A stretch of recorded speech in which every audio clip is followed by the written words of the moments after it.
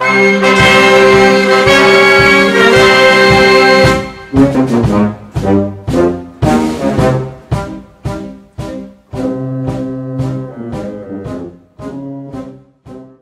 büyük hata!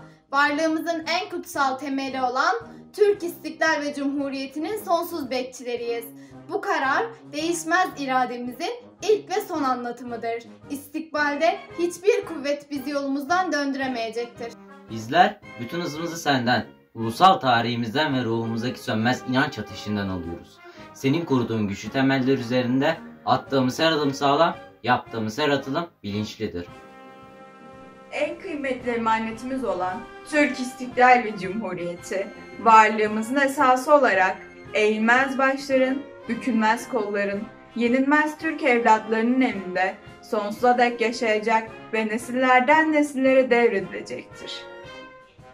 İstiklal ve Cumhuriyetimize kastedecek düşmanlar en modern silahlarla donanmış olarak en kuvvetli ordularla üzerimize saldırsalar dahi ulusal birliğimizi ve yenilmez Türk gücünün zerresini bile sarsamayacaktır. Bu aziz vatanın toprakları üzerinde yetişen azimli ve inançlı Türk gençliği, dökülen temiz kanların ve cumhuriyet devrimlerimizin aydın ürünleridir. Vatanın ve milletin selameti için her zorla iman dolu göğsümüzü germek gerçek amacımız olacaktır. Ey Türk'ün büyük atası!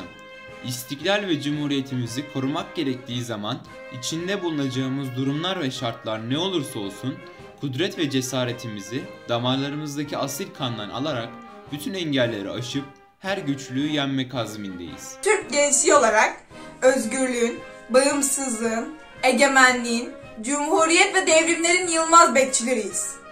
Her zaman, her yerde ve her durumda Atatürk ilkelerinden ayrılmayacağımıza, çağdaş uygarlığa geçmek için bütün zorlukları yeneceğimize, namus ve şeref sözü verir, kendimizi büyük Türk ulusuna adarız.